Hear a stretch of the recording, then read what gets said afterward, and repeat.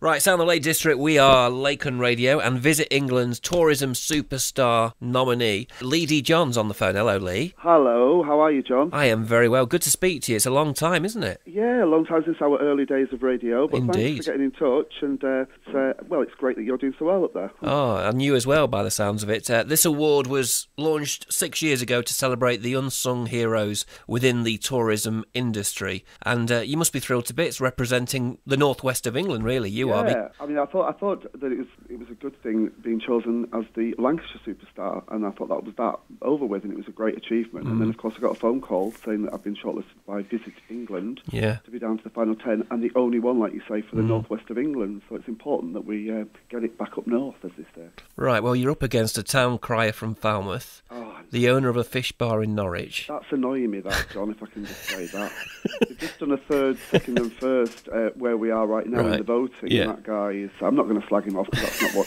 what it's about. I'm not Hillary Clinton and Donald Trump, but um, you know, Mm-hmm. he's, he's coming in at first at the moment. But um, oh yeah, I'm rallying round. Yeah. Now the important thing is, Lee, how do we vote? How do we get you Blackpool Well, and you know the northwest on the map? For all you lovely people up there in the Lakeland and Mm. beyond, um, if you go onto Viva Blackpool's website, that's V-I-V-A Blackpool, all one word, Mm. dot com, and uh, there's a, a link on there that you can click on and just follow the instructions, and you can go on and vote for Leye D Johns and bring it back to the northwest. Indeed. Now I've noticed, and I've uh, been laughing at all your photos. You've been all over the place, you know, getting attention on the, sh- even to your hometown of Barrow. Yeah. Yeah, well, Barrow used to be in Lancashire Mm. in the old days. I mean, I wasn't born then because I'm, I'm, I'm only about 23, Oh, that's all. as, as you are probably. You're Yeah, similar 24 age. I think yeah. uh, we we had the same cake at one point. Yeah.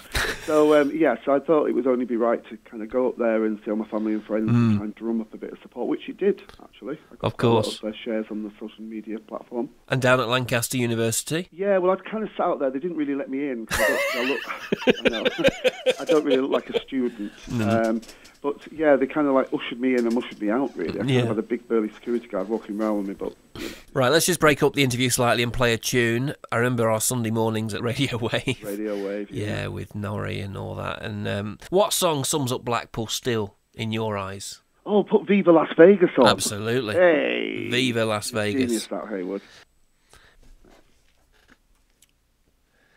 Sound the Lake District, Lakeland Radio, and we're chatting to the team at Viva and Visit England Tourism Superstar nominee Leye D. Johns. Blackpool is still on the map for tourism. It does well. Like the Lake District up here, it's got its qualities. Uh, we've got the scenery, uh, Blackpool's got its location, and the entertainment, no end, uh, is the Vegas of the North. You know, ticking all the boxes, really, isn't it, Lee? Yeah, we've, we- we're kind of like working hard to, and as are a lot of businesses, to be honest. Yeah. Um, within the tourism environment, they're all working hard to try and get get Blackpool back and, and happening and attracting more people. It's very important, you know, that people understand that we're kind of cleaning it up and, Yeah. and bringing more, putting more money into the town to make it, you know, nicer and, and much more appealing to, to outside the town. Like Viva, many many people are doing that in the town now, which is great. Good to see. Do you get any time out? Do you ever get time off yourself and go out and enjoy Blackpool or not? Well, not not so much Blackpool. It, irony is, my family come up from, from the Lake District and obviously Hmm. Yeah. Barrow, so I'm kind of up there when when I do get a little bit of time off. If I'm not on holiday, I kind of go up there for a day,